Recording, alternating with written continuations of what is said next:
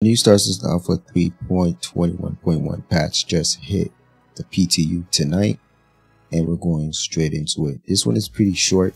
Have a feature update in the gameplay category where they um, did some adjustments to the tractor beam.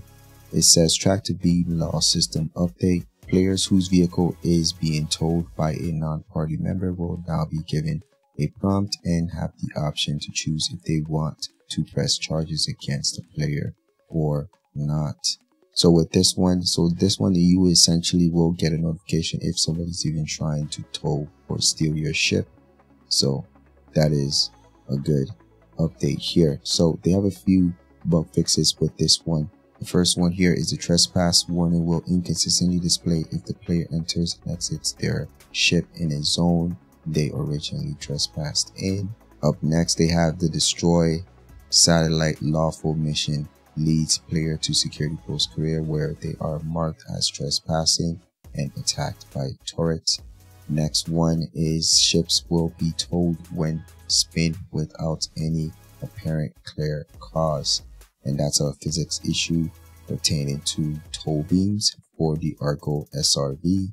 So I'm glad that they have that fixed.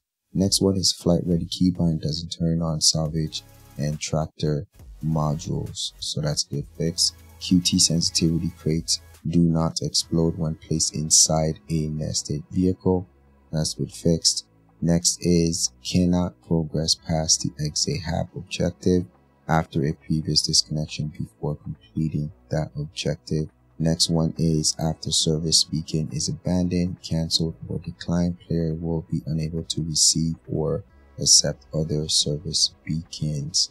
That's been fixed. Also here they have player received a crime stat 3 using forced respawn.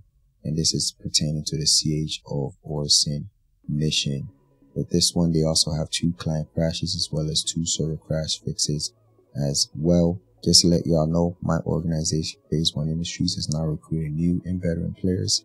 If you're interested, you can find our Discord in the description down below. Make sure to leave a like, subscribe. I'll see you on the next video.